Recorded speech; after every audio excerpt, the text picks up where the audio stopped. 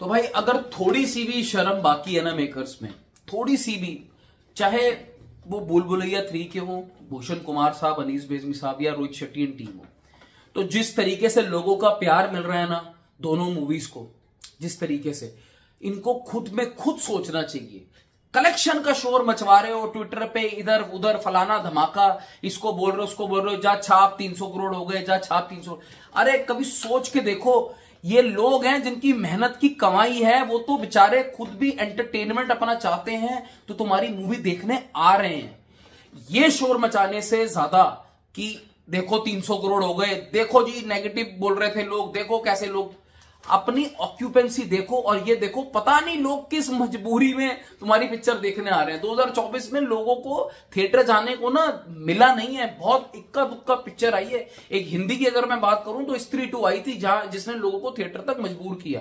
पूरा साल उठा के देखो फाइटर से स्टार्ट करो, लोगों को मिला नहीं। लोग, लोगों ने जॉनरा को, दिवाली पे, लोगों ने मूड बनाया कि आपको देखने जाएँगे और उसी का असर है, उसी चीज़ का असर है जो अब तक की जो जो थोड़ी बहुत कलेक्शन आ रही है ना, वो आ रही है। तो रादर देन इसके ना कि आप फ्लॉन्ट कर रहे हो या बहुत ज़्यादा शो ऑफ़ कर रहे हो कि हमने इतने करोड़ कर दिए, उतने करोड़ कर दिए, ये शो ऑफ़ का मज़ा तब आता, इस कॉन्फिडेंस का मज़ा तब आता जब आपका कंटेंट एक नंबर होता। बहरहाल दोस्तों, ये एक बात थी जो मुझे आपसे करनी थी और कृपया करके जो ट्विटर पे और उधर उधर सोशल मीडिया पे जो क्रिटिक्स है ना, नहीं जी, बहुत बढ़िया इनका तो काम ही दिन के उजाले दिखाना है, अंधेरा तो कभी ये दिखाएँगे ही नहीं कि एग्जैक्टली चल क्या रहा है। अब आज मंडे डे नंबर 11 का स्टीप क्रैश आया है। तो वो कोई नहीं बोलेगा, वो तो कोई बोलेगा नहीं, कोई बात नहीं, चलो उसके लिए हम बैठे हैं। बट एनीवेज मैं दोस्तों एक आपसे सेकंड मंडे यानी डे नंबर 11 कलेक्शन बता दू। एक बात जो बहुत अच्छी है, वो ये है, लोगों की वजह से है, जनता की वजह से है कि 300 300 करोड़ दोनों मूवी ने क्लैश में कर लिए। ये अपने आप में बहुत अच्छी और ये अच्छी बात है। और ये बात अच्छी इसलिए नहीं है कि टी सीरीज़ ने कमा ली है, रोहित शेट्टी ने कमा ली है। और मुझे तो यार सही बताऊँ ऑनेस्टली वो भी फ़र्क नहीं पड़ता। उसने पैसा रिकवर कर लिया, उसने कितने परसेंट ऊपर कर लिया, ये कर लिया, वो कर लिया। जब मेरे को प्रोडक्ट जब हमारे लिए प्रोडक्ट बनता है, जब हमारा एंटरटेनमेंट ढंग से नहीं हुआ, ठीक है, और अगर पिक्चर जहन में उतरी या ना उतरी, मैं तो उस हिसाब से सबसे पहले सोचता हूँ। बाकी आप लोगों से जब बात करता हूँ, ऐसे वीडियोज़ में, तब जाके थोड़ी चीज़ें निकल के आती है हाँ भाई, ठीक है, कितने परसेंट का लॉस हुआ, प्रॉफिट हुआ।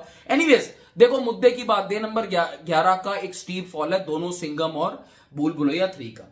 अब मैं आपको एक बात बता दूँ, सिंघम का जो वीक वन का कलेक्शन था, वो एक सौ तिहत्तर करोड़ था और 8 crore friday second friday then 12.25 then 13.25 Monday इस वक्त तक सिंगम का जो कलेक्शन है वो अंदाजन अंदाजन दो करोड़ के आसपास का है। तो आप डेटा आप सिंगम का टोटल उठा लो तो 209 210 करोड़ के आसपास का आपको दिख जाएगा। सिंगम सिंगल डिजिट पे आ चुकी है ऑक्यूपेंसी के मामले में सात परसेंट मॉर्निंग लगी थी, पंद्रह परसेंट मुंबई नून की लगी है। शाम की ऑक्यूपेंसी अच्छी लगनी चाहिए, तब सिंगम का शायद हम सात या आठ करोड़ के आसपास का डे खत्म होते होते कलेक्शन देख सकते हैं। सिंगम को अगर एक सिटी कोई बचा के बैठी है तो वो मुंबई है। फिफ्टीन की ऑक्यूपेंसी के साथ सिर्फ़ मुंबई है जो highest occupancy across all Indian cities या स्टेट्स चल रही है।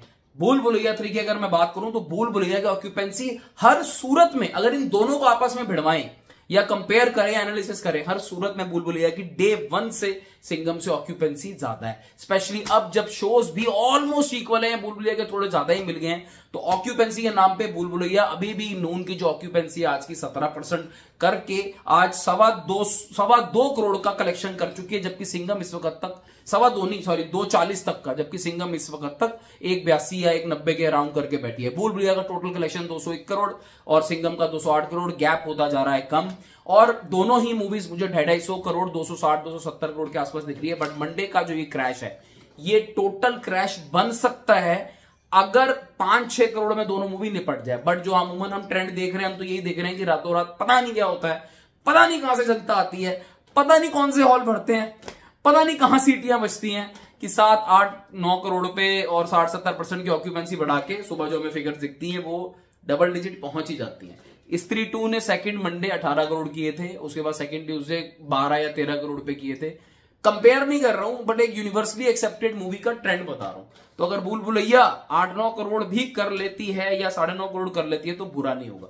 बुरा दोनों मूवी का अपनी अपनी जगह कलेक्शन एक्चुअली बुरा है नहीं। मैं इसलिए कह रहा हूँ धन्य हो पब्लिक इन दोनों प्रोड्यूसर्स को पब्लिक के चरण में गिरना चाहिए और यह बोलना चाहिए कि भाई थैंक यू हमारा पैसा बचवा लिया, आपका शुक्रिया हो, क्योंकि जो हमने प्रोडक्ट बनाया था ना, वो आपके लायक नहीं था, लेकिन फिर भी आप लोग हमें सपोर्ट कर रहे हो, इसके लिए कोटि कोटि प्रणाम। कोटि कोटि प्रणाम तो वैसे मैं भी बोलना चाहता हूँ उस पब्लिक को, जो जा रही है। लेकिन जा रही है भाई, क्योंकि मैं भी गया था तो मैं क्यों क्लेम करूँ दूसरों को कि भाई आप मत जाओ? जब मैं ही गया था, पसंद ना पसंद अपनी जगह है भाई।